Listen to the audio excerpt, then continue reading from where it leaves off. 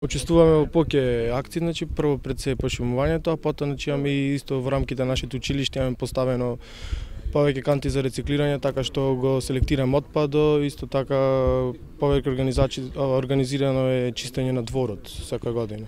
Целта значи на се целова пошумување се развива свеста кај младите.